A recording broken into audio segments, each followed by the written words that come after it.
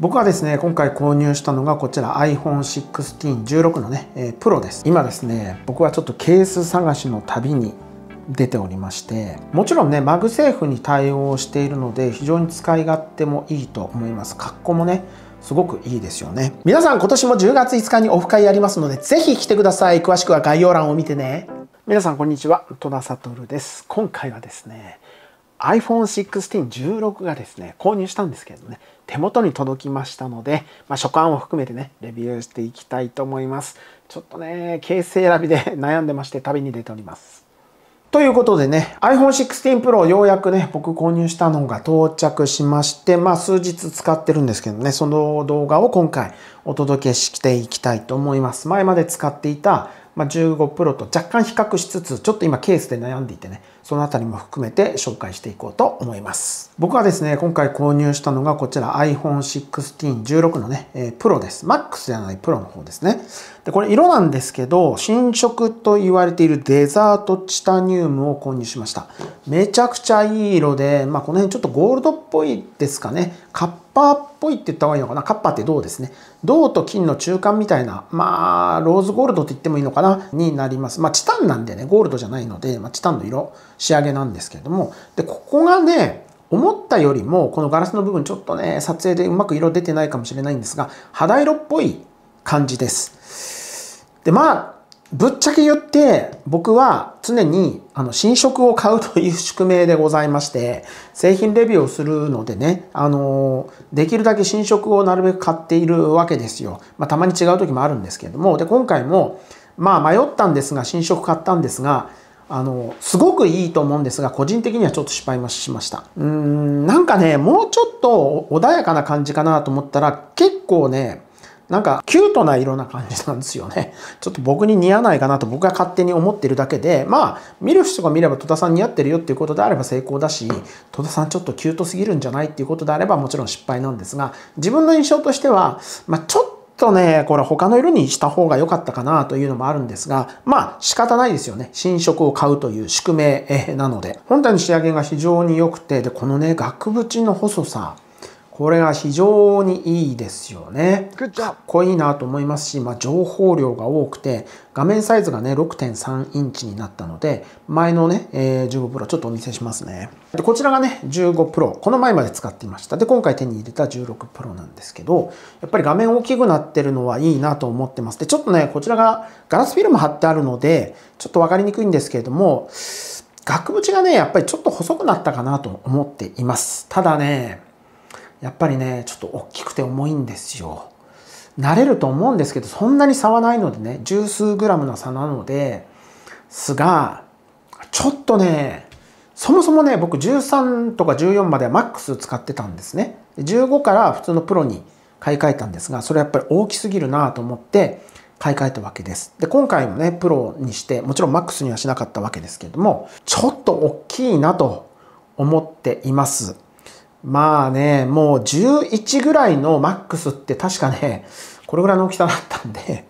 もはや小さい方がプロっていう感じではなくなっていますよね。まあ、僕はもうちょっとコンパクトで同じ画面サイズで軽くしてくれた方が良かったかなという気が今はしてます。ただ慣れてしまうとこのサイズが良くなるかもしれませんね。そこはちょっと分かりません。ちょっと重量測ってみますが、199g カタログ値通りなんですけどね。15 Pro ガラスフィルム貼ってあるんでちょっと重くなってます。199g ほぼ同じになってます。ガラスフィルムが貼ってあるのでね。こう考えると16にガラスフィルムを貼るとですねもう 200g 超えてくるわけで当たり前ですけどね。210g とかになってくるわけですよ。やっぱりねちょっと重いなというふうに正直思いました。そこが実際手にしてみて使ってみて感じた、まあ、最大の、まあ、ネガティブなポイントかなと思ったより大きくて重いというふうに感じましたマグセフ対応のモバイルバッテリーでワイヤレス充電してるんですがこれがですねまあ最大 25W になりますというところでとても期待してるんですが今のところですね Apple 製の充電パッドのみのように思います。すいません。全製品知ってるわけじゃないんですけれども。なので、せっかくのね、あの、急速充電が今まで持っていたもので活かせないっていうのはちょっと残念でございます。でケーブルをつないだね、え普通のいわゆるケーブルの充電も最大で 45W いくらしいんですけれども、まだね、ちょっと数日なんで、カラッカラにして充電してないんでわからないんですけど、いろいろな充電器でちょっと充電してみてるんですけど、そこまでなんか速度出ないんですよね。チェッカーで測ったりしてるんですけどね。まあ、ほぼゼロに近い状態にして、おそらくね、PPS も対応の 65W とかの充電器で試すと 45W で充電できるのかもしれませんが、ちょっと今普通に使った感じだと充電めちゃくちゃ早いなという印象では今のところないですね。まあ、ズームなんですが、望遠ね、5倍になりましたと、光学のね。で、今までは3倍だったわけですよ。まあ、プロマックスは5倍だったわけですけどね。16からプロでも5倍が利用できるようになったと。でまあ、あの、望遠がね、え撮れるのは非常に嬉しいわけなんですが、このね、並びをちょっと見ていただくとわかるんですが、1倍の後2倍、3倍なんですよね。15までは。で、えプロは1倍、2倍、5倍なんですよ。で個人的には結構3倍に慣れていたのでちょっと5倍大きすぎるなっていう場面があるんですよ。でこうね、えちょっと長押しするとここでね倍率を設定できるんですけどここ1倍2倍5倍なんですよねやっぱりね。3倍で止めるっていうのが結構めんどくさくてまあ別にぴったり3倍にする必要もないんですが実はねちょっと僕レビューの関係でそのこのスマホでも3倍このスマホでも3倍とかって撮りたいわけですよ。で前はもう3倍でこう止められたので非常にねやりやすいんですけど今度は1倍の後はほら5倍25倍とかなんでちょっとねなんか3倍が使いにくいこれね1倍2倍3倍5倍ぐらいに、えー、ここでね設定できたらいいんですけどどうなんですかね多分できないと思うんですよね。ちょっとねせっかくなのでまあ、3倍はね高額ではもちろんないわけですけれどもデジタルのズームなわけですけれどもちょっと残念だなというか、まあ、慣れてるのでね使いにくいなと思いました。まあ慣れの問題です。今ですね僕はちょっとケース探しの旅に出ておりましておかげさまでねこういう仕事柄たくさんケースが手元にあります。どれ使おうかっていうのに本当に悩んでおりましてまあ日によって使い分けてどれが自分にマッチするのか今考えてるところなんですけど結構ね、大きくなっただけに難しいんですよね。これがね、ケース4のケースなんですけども、透明タイプのケースで、かなりね、スリムなので、あまりこう、負担感なく持ち歩けます。で、もうマグセーフ対応ですよね。もうもはやね、マグセーフ対応のケースしか買う気がしないですし、おそらくマグセーフ対応のケース以外もほとんど売れなくなってくると思うんですよね。ここまでね、ワイヤレス充電が普及してくると。で、こちらケースコンのね、ケース。これもね、非常にいいんですけど、これ何がいいってね、やっぱりスタンドついてるの最高ですよね。これはね、非常に便利。横でも縦でも立てられて、なんなら横でもね、角度調節もできて、めちゃめちゃ便利なんですが、若干重いんですよね。リングとスタンドは欲しいけど若干重い。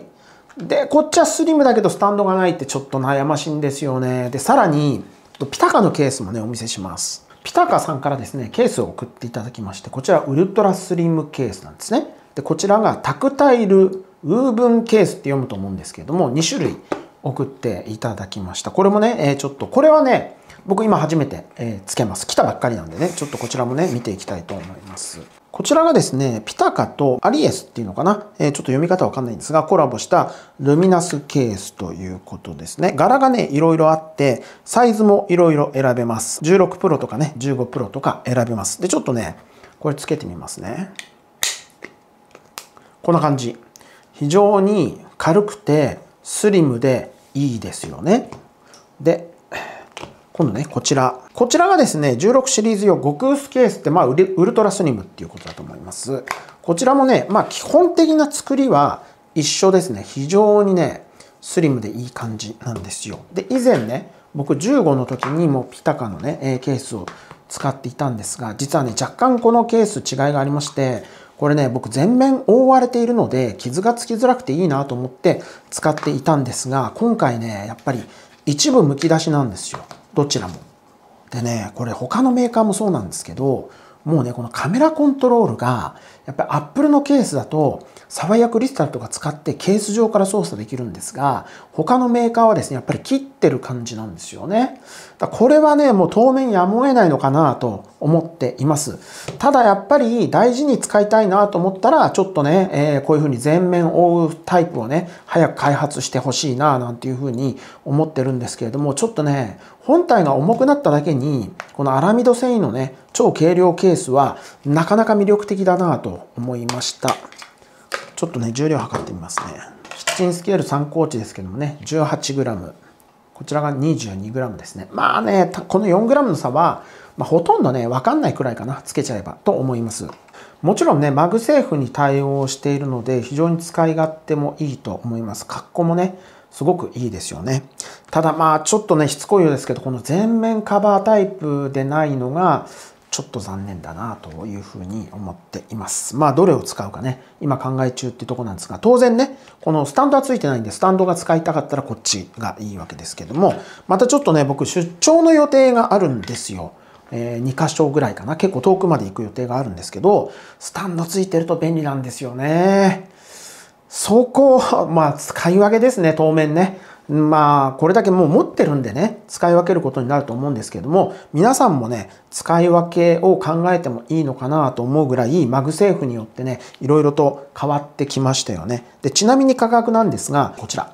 極薄ケースの方が7999円です。でこちらのねコラボケースの方が9999円なんですよ。ピタカのケースめちゃくちゃ良くておすすめなんですがやっぱりちょっと高いんですよね。それが許容できる方にはすごくいいんですけれども、最初に紹介したケース校とか2マソンのケース、これもうすでにレビューしてるので、概要欄にね、リンク貼っておきますけども、こっちはやっぱりコスパすごく高いんですよね。だから価格を含めると本当にどのケース買えばいいかって難しいですよね。ベストバイってなかなかケースは難しいなと思っていて、僕は今ね、ケース選びの旅をしている最中なんですけど、まあ2、3ヶ月するとほとんどこれ使ってますっていう風になるのかもしれませんけれどもね、もしくは複数のケースをね、使い分けてるかもしれませんが、重量が増したために、ちょっとね、今、心理的にも負担感が大きくて、ケースどうしようというふうにね、思ってる最中でございます。で、あとね、ちょっと色があんまり気に入ってないので、透明なケースもいいんですけど、隠しちゃう手もあるかななんていうふうに思ってます。これね、あのー、皆さん、ケースってそうで、結構ね、ケース頻繁に取り替える人とかね、僕の知り合いにもいるんですけど、いいと思うんですよね。もう色合いというかデザイン変わるんで、楽しめますよね。だってこんな、ね、このコラボケースとか入れると、表情がもう全然変わるので、もう違うスマホみたいに見えるじゃないですか。もう気分一新で、まあこういうデザインでケース買う人も多いと思うので、それはそれでいいと思います。いつもね、僕機能ばっかりお話してますけど、というね、えー、感じでございます。今回はですね、iPhone 16 Pro 届きましたというね、ご報告の動画と、ケース選びの旅に出てるという動画をお届けしました。いつもはね、こんな旅しないんですよ。今回予想以上に、いや、数値は大して重くないのに、体感で重いんですよ。なんかね、15プロから買い替えると、え、こんなに重くなったの？って、そんなに重くなってないのに、なんか感じるんですよね。ということもあって、ケース選びの旅が さまよってます。みたいな感じなんですけれどもね。デバイスとしてはかなり満足度高くて、価格据え置きと考えると性能めちゃくちゃアップしてますし、現時点でスマホの中で最高性能ですよね。カメラの5倍望遠も良くなってますし、カメラコントロール僕大好きなんで、すごく気に入ってます。まあ、そういう細かいレビューはね、もうすでに動画アップしてるので、そちらを見ていただければと思います。今回はご報告と、えー、ケース選びの旅の動画をお届けしました。今回も動画をご覧いただきありがとうございました。チャンネル登録、グッドボタン、ぜひよろしくお願いします。それからメンバーシップもスタートしておりますので、興味のある方はぜひ参加してください。えー、メンバー先出しのね、えー、動画公開とか、メンバー限定のライブ配信、それからね、リアルのイベントの優待等もございます。またメンバーシップに加入していただきますと、戸田悟ファンクラブに無料でご招待します。でこの戸田悟ファンクラブでは、抽選でですね、毎月僕がレビューした製品の一部、大体5製品から7製品ぐらいが多いんですが、プレゼントしておりますので、ふるってご応募ください。